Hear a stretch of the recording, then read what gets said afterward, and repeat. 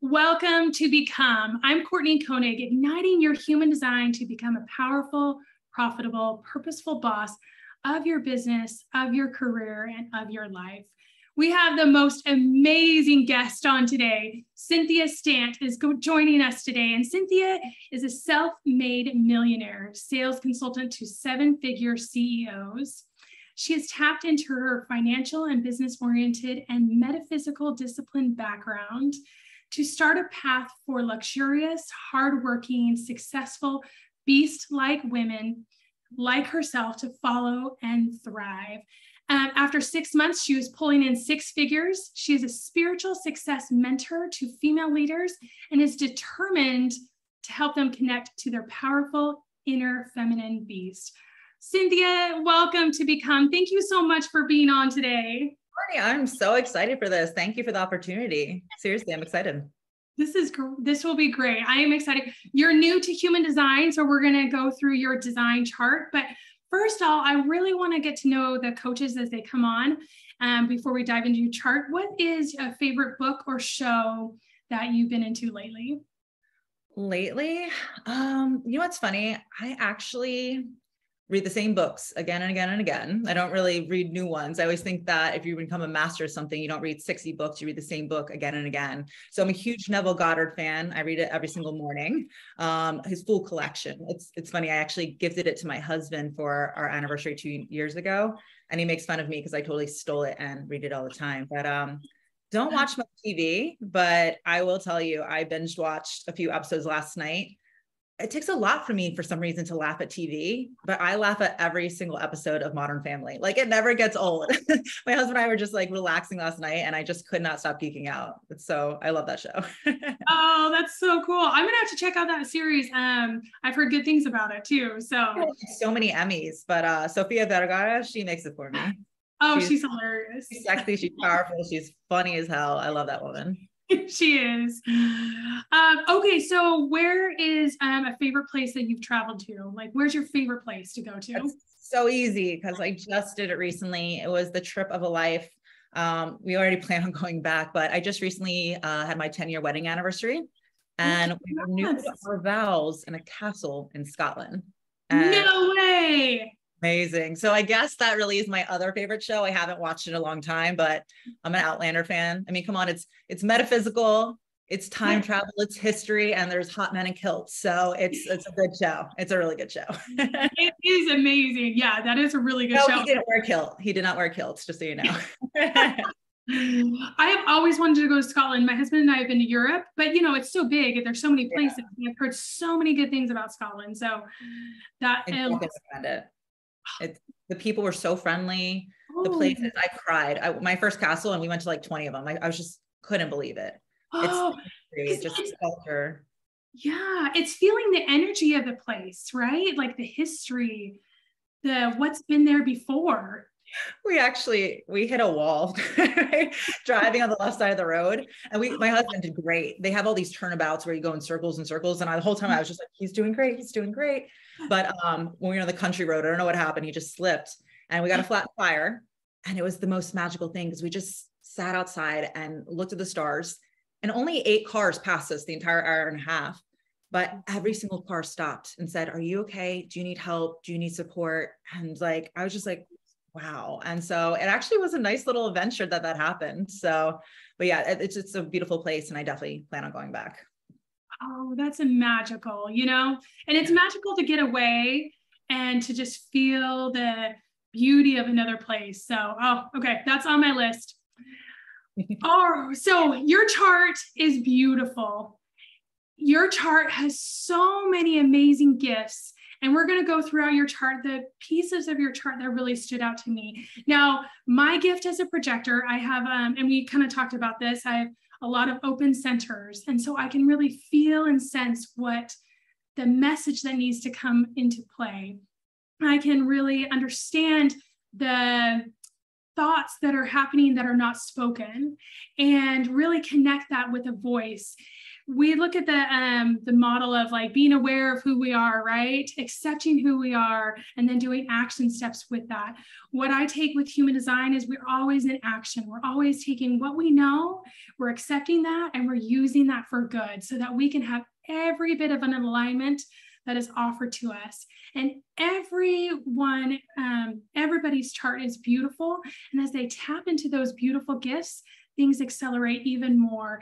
And that satisfaction and that contentment with the process accelerates even more. So, um, human design um, gives you a chart based on your birth information, and that shares with you those gifts. So, it's becoming this deep sense of belonging to yourself, this deep acceptance and tingling um, fears or uncovering skills that maybe we didn't resonate with or we're like oh well that was i i I, that comes easy to me, so it's not that special. Well, human design is like, yes, that's special. We're going to tap into that even more. So, you are a manifestor, and a manifestor is one of the five design types. So, you are a natural born go getter. You have a vision of what can be done. You are a catalyzing force. You make things happen. And it's interesting, manifestors are the only design type that can initiate and just create because they have like a manifestor manifesting things they have this ability to just follow this urge that's coming within them and to mm-hmm. go and start to make things happen. And so oftentimes the people that are surrounding manifestors are like wait wait what is she, what is she doing next? What's happening? Wait what was going on? And yeah. they're like yeah, they can't keep up. And you're like, come on, make it happen, you know? Um, but you seek to achieve and you seek to lead. You're born with this ignition switch that's always on. Mm-hmm. Um, now, as you're this natural leader, as you're this embodiment of manifestation, you have this big aura. And aura is this, you know, this energy that's surrounding us. Um, I tell my clients, I'm like, hey, your energy speaks before you even open your mouth. Absolutely. It's already there. So embracing this big this bigness of yours, being this movement starter and not allowing people to micromanage you because it manifestors that get micromanaged, that's no. that's bad. So, your tagline, when I was um, reading more about you and getting to know you more, your tagline is this inner feminine beast, which I love so much and is such a manifestor thing to say, right? You're taking up space, you're creating this um, energetic awareness of everybody who comes in contact with you with this tagline. So manifestors are often conditioned to play small, right? To not vocalize what they're thinking or feeling because they've been told, you know, hey, you know, um, no one really wants to hear from you, or or hey, um, that's way too big. Could you pull it down? You know, that type of thing. So this vocalization and this movement is your true alignment. Mm-hmm. So as you step and, and you have stepped into that and you are expanding your business even more and more and having this reach. I know we're speaking at a same conference and you have your own conference coming up. It's yeah. a beautiful thing to see you in motion as a manifestor. So, how did you work through maybe those ideas of playing it small or not being able to vocalize to become this uh, leader of seven figure CEOs? Yeah girl i got fired. That's what it took. No um, i'm a very spiritual woman myself very intuitive and um, you know sometimes you really want something but you make other people's dreams first or that's too scary or how many how's that going to happen? What's the next move? And uh, i heard it from the universe. I believe that you know we're always getting the sign we're always having the answer put right in front of us but sometimes we have free will we ignore it and I joke around and I say it's tap, tap, shake, shake, punch, or some people will say feather, brick, bus. You know, God, the universe was constantly telling me, like, Cynthia, you're supposed to have your own company. You're supposed to do this. You have a bigger, you know, impact to make. You have more people to serve. I was so moving up my corporate ladder that I just kept making somebody else's dreams happen. I was hiding behind, you know, somebody else's brand and image. And then one day, unbeknownst to me, just blindsided, I was fired from my um, really high earning corporate position. Um, you know what? It's for me, by me, and it was time. And uh, I decided to do things really big starting day one of starting my own company. So yeah, it's pretty cool. We we've had a lot of success since then, but it's being in alignment and really, like you said, speaking my truth and and creating a brand that is the essence of my soul that's had such a big impact. I love that creating a brand that's the essence of your soul. And so oftentimes, especially in this social media realm, um, as people are coming into this, um, they're like, well, I guess, you know, I'll be like this person or I'll be like that person. You see a lot of that. yeah. Yeah. So do you show your clients to be like themselves, right? Absolutely. Um, I always tell people there's no system, no strategy, no coach, no program outside of you is ever going to be the source of your success or happiness. And my job as your mentor is not to give you the system, it's help you to channel your system. What is wanting to come to and through you and emerge here in the physical? And my job working with so many you know six multiple six seven and even eight figure entrepreneurs is i've seen a lot of things that work and a lot of things that don't. So let's have a smorgasbord a buffet of options which one feels right with you aligned with you so that we can take the right aligned actions to get the aligned results. So i'm here to help you decide what feels best with your higher self your inner feminine beast. Right. And the way you've done that so much is by doing that on your own you know by lining up with who you really are and going full force with that. No yeah. holding back no fears just taking it to the next level. So as a manifestor um, one of your challenges is not having this endless amounts of energy like to do all all the things right so you've got to create support systems in your life and work um, or otherwise that burnout will come in. And i know you're a mom and i know you have family you know so we look at all the things that are pulling you in those all directions personally and professionally as well. Now communication is everything for manifestors as well. Communicating like where you're going you feel this kind of intuitive urge to do something and so you just start going for it you know? So it's really creating this um, hey, team, I'm surrounded by a team, personally and professionally, and I'm communicating with them where are we going? Where are we headed to next? Um, where what's the vision that's coming next? Instead of, you know, like, um, hey, just you know, try and keep up because that creates this disconnect with you as well. So, how have you created this support in your personal and professional life, as well as um, diving into like, come on, guys, here's where my vision and here's where I want to go next? Well, being the CEO of a company, and this is for everyone, your job is to be the visionary. It's to be the leader. It's to be the shot caller. And it's not being like stuck in the maze and reacting. It's really having a full big picture and sharing that vision with the team so that they can get behind it and, and create that momentum with you. We're stronger together. And the more successful you become, the more support you need to have, not just in the physical by delegating to a team, but with my spirit squad. Like my business partner is God, and I have conversations every single day and remind myself to be supported. But the whole point of IFB and my the brand is really mm-hmm. being a woman who's super intentional. Like everything I do is about looking for the biggest return. So I my thoughts, I can't focus on doubts because where is that going to bring me? Wherever I focus, it creates momentum. So I'm very intentional about th- thinking the right thoughts.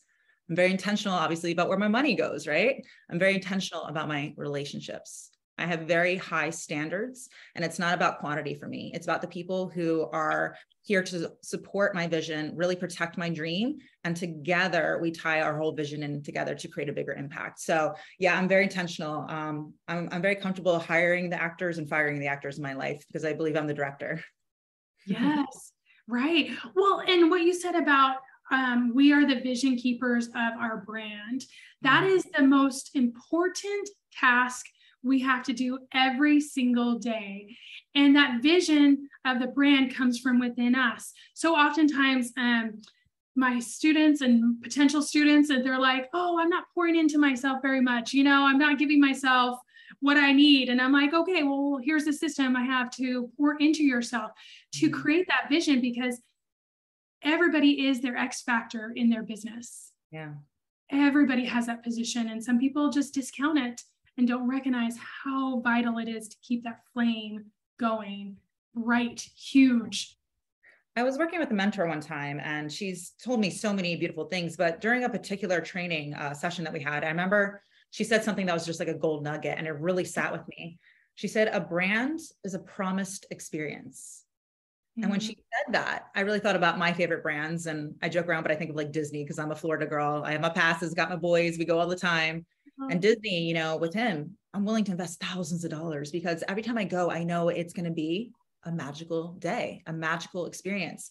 The landscaping is going to be top notch. The, you know, the, the, everyone's going to be smiling at you. No one ever says, have a mediocre day. Like that never happens, you know? So I really right. thought about, wow, what is my brand? And that's when, uh, you know, my higher self came through. It's inner feminine beast. And so that way I'm always the same all the time. And authenticity is absolutely key in this world of, you know, polished, everything being perfect, people sitting on Ferraris with duck lips, like acting like that's their everyday. Like, you know what I mean? Like people want that real emotional connection and that's what earns trust. And if you're going to be successful in business you need to have trust from your people. So yeah i just look at my brand as that promise experience and i'm the same with my clients as i am with my friends as i am meeting you and you know my children everybody. So it's the essence of who you are the essence of your soul. Yeah that's your brand. That's your brand. Your soul is your brand. Yes. Now another part of your chart that stood out to me um, is your profile. And it's on the top where it tells your type. And a profile is made up of two numbers, four and a six is your profile. And the first number is the way you see yourself, and the next number is the way others see you. Oftentimes we have this like blind spot for how do others see us? And so this is a really um, unique tool to tap into that, to utilize that even more. So you are a people person. That is the number four, a people person. You're gifted at bonding with people. The quality of life is determined by the relationships in your life. And it's funny that you just mentioned that. Yeah. that is a, a core strength and gift of yours. And once you find your people, you hug them and hold on to them and link arms with them tightly and connect with them. And those people that are not your people, you know how to curate them and put them off to the side because they're not part of your vision. They're not part of your energy. Now, the six is a way, a wise sage. You have this innate wisdom. You're wise to life. You look inside of yourself and you have the answers all within of you. Um, others are meant to see you as a role model. And the, when the four and the six come together, you're the central influencer figure. You direct with a huge heart you're open to that heart for those sharing of those wisdoms that you have gathered and sharing those with others. Um, and the more that you lean into that, the more that those show up, and then the more that those connect with others across the world. So, how has these gifts shown up in your business? Well, you know what? I always say that it's not about pleasing everybody you know like eh, so i'm really an expert at sales and um, what it is it's not about for instance like pricing for instance i'll say it's not about having something that's $100 and selling that to a thousand people. It's about having something that's a thousand dollars and selling that to a hundred people your people. And that's not the strategy because you need to charge more. You want to attract people who are really committed to doing the work that i believe i have a soul contract with every client i've ever had do have and will have. And i'm not here to just skim like and talk to the masses. It's not like hi everybody. I'm here to help women too. No it's like i'm here to help you because you're the woman who's looking to have a life where you are deeply satisfied. And i talk directly to my people. When the student is ready the teacher will come. And so i'm here to help the woman who truly is. And so i think it's important to not just be about quantity. My business has never been about quantity. We've had a lot of success and it's all about quality of the right women because i truly believe that my client success is my success and together like we are committed to this uh, the results. And so i've always said it's about pure connection it's about authenticity it's about transparency and it's about really i say no to people all the time. I want to work with the right people that really value me my my standards my boundaries and that are really committed to this process. So yeah i mean that's pretty spot on you know yeah, isn't this crazy? All from a date of birth. I mean, it like. do you ever say anything bad so far? I'm like, this is great. Keep talking. I, know. I know it's crazy. Um, all right, so on your chart, and I showed you your chart before we got on. We looked at that body graph, and it had all those uh, defined centers that are colored in, and those undefined centers that are white. Mm-hmm. Now, um, the defined centers they and the undefined centers, they all have a job to do. And the defined centers, we always have these gifts with us always. So we can lean on those gifts when we're taking next steps, when we're, um, you know, reaching out with clients and all those things, right? So your centers, you have the throat center, which is communication and manifestation. Mm-hmm. You have the G center, which is identity and self love. You have the solar plexus, which are emotions emotions we can think okay emotions are so good in business right? This new way of doing business is emotional right? We connect with people. Mm-hmm. um, we we make those emotions work with us um, and help us drive our passion in our business. Um, the root is the drive. So this drive this innate like oh i've got to do this. You know it's backing you up. And the spleen is your intuition and your senses now, you have a lot of powerful gifts coming from the spleen, which is your intuition and senses. And your business has these roots in spirituality and manifestation. How has this powerful gift of intuition helped you um, as you coach and guide others? Yeah, so I don't know if you know this about me, but um, I actually went to the School of College, excuse me, the College of Metaphysical Studies, and um, through that was certified as an intuitive practitioner, which is actually the professional way of saying psychic medium. So back in the day, before I got really big into the sales game, um, I was a professional psychic, and I was very connected to my intuition. What happened to me though was that I realized a lot of people who were coming to me, and I was booked for three months out, you know, mm-hmm. um, and I realized though it wasn't fulfilling because a lot of people kept coming back having the same reading. They weren't taking any aligned action to get a different result, or they were relying on me like I was some kind of superhuman. And I'm like, you can do these too. I just disciplined myself to have a spiritual practice, to really, you know, work on meditation and to actually trust in my intuition and, and go with it. And so that's when I really started my company differently. So I'm not just about sales and strategies and structures. I'm all about having aligned, uh, purposeful, meaningful impact in your business. So honestly, I've been such a successful person at sales because I know how to connect with people energetically before, you know, just looking at it physically. I understand people buy off of emotion. So I'm helping them to see the end result. So use the law of assumption to see what we're working for and get clarity on that and then just really connect with people. I can honestly know before you even open your mouth or before we touch, like or connect to me, um, if you're the person, like I can feel the zing. Like, you know, I'm like, I, I ask myself, like, is this the person, my soul contract? And I'll know. And if so, like, I'm going to reach out. And of course, it's up to you if you want to keep moving, but I like know my people. And that's a big part of it. Yeah. How, yeah. How, what does that intuition, that yes feel like? Because so oftentimes people are kind of muddy with their mind overthinks things. They're like stuck in a place of fear. But how, when you're in that intuition and the intuition is saying yes, what is the language? What is that feeling that surrounds that? It's it's interesting because we get confused. I, I teach a lot about meditation because um, it's important to learn how to control your thoughts so your thoughts aren't controlling you. When you get an intuitive download, um, you have to realize it's it sounds like your own voice, but it's different. It doesn't come from you; it comes to you. So, you know, you don't know what's going to come out of my mouth next. And that's kind of what it's like. It's like I could say hamburger, I could say cheetah, like you don't know. And all of a sudden that comes and you're like, what is that? Where is that coming from?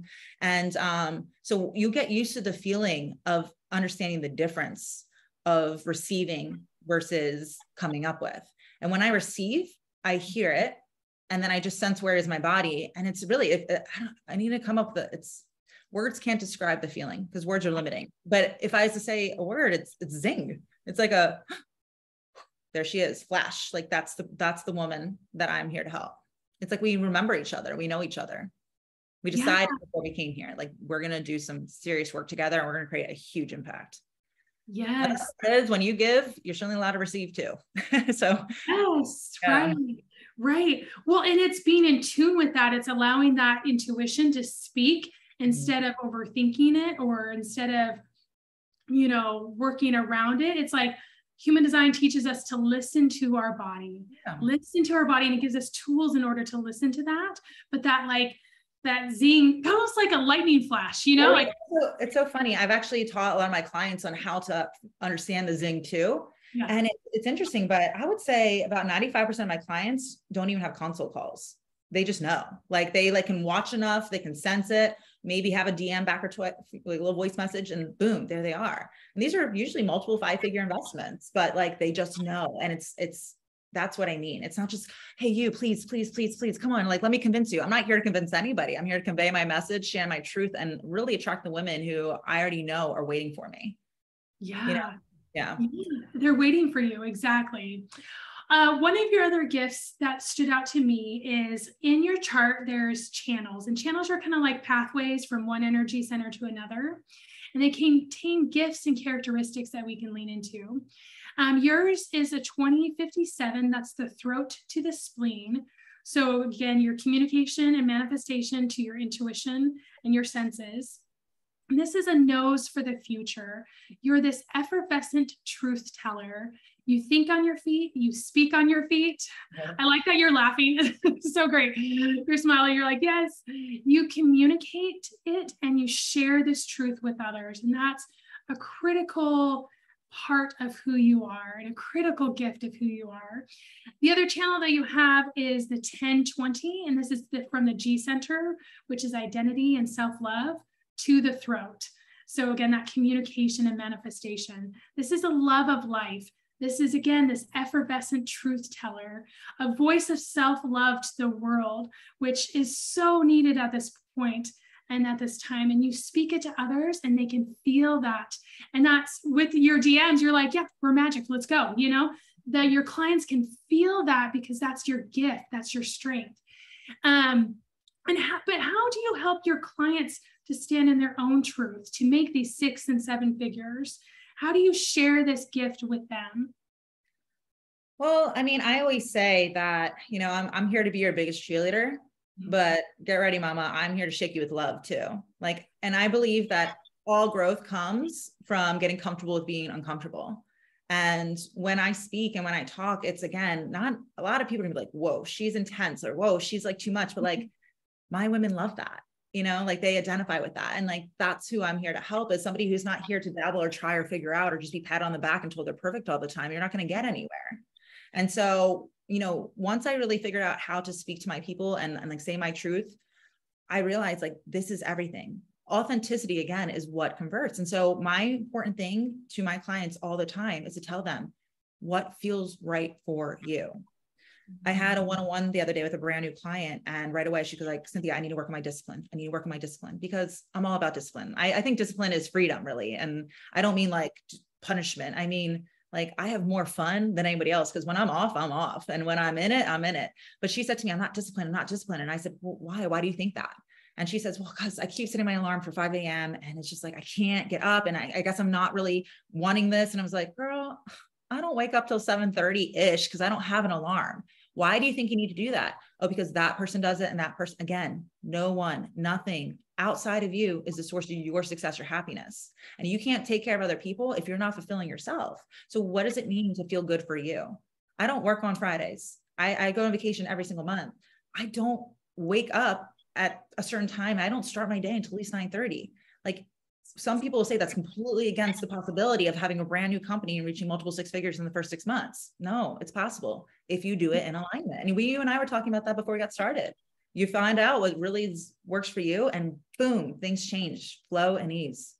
Flow and ease. Well, and that's exactly right. As a manifestor, you don't have this natural, like sacral energy, which is the energy center that powers work and life. Um, and so you have to renew that. So for you, sleep is critical. Oh, I'm, yeah. wait, I'm like, if I don't get my nine hours of sleep, I can't, I can't think, I can't function, you know, like, but I used to always think of myself as, well, why can't I get up at that 5 a.m.? You know, what's wrong with me? And comparison myself to other people. But again, when we live our design, when we really look at what are our needs that are coming from inside, we can internalize that and use that as actionable intelligence to be like, oh yeah, I this is my need this is what I need. This is how I operate. And then everything goes into flow, right? So I'm the same with you. I don't set an alarm and I get up when I get up. And, but my practice is in six different countries throughout the world. Mm. And again, I, and I was telling you, I've been sick for like three fourths of that time. So there's magic in living who we are and living with that alignment is everything. And this human design gives us a powerful tool to say, yes, this is you. Get it together. You got this. You know, you can use this. Yes. Yep. Cynthia, this has been amazing. So I would love to hear where people can find you, where they can coach with you, where they can connect. Yeah, absolutely. Thank you for that. Um, so it's pretty easy on all social media. I'm really big on Facebook. We're growing on Instagram. Um, YouTube's up and running. It's just at Cynthia Stant. Um, the website's super easy, cynthiastant.com. And we just started our brand new Facebook group because we rebranded everything in my company. We're evolving, we're growing. Um, brand new Facebook group. We're having a lot of uh, complimentary master classes in there, workshops, interviews, all the things. Um, and it's called Inner Feminine Beast. That is the Facebook group. I love that. that is like a statement we should all say every single day of our lives. You know, it's just extraordinary and have so much power and energy. I'm so excited um, that we connected. I'm so excited that we get to speak at the same conference at Gold Digger, like a yeah. Goal Digger.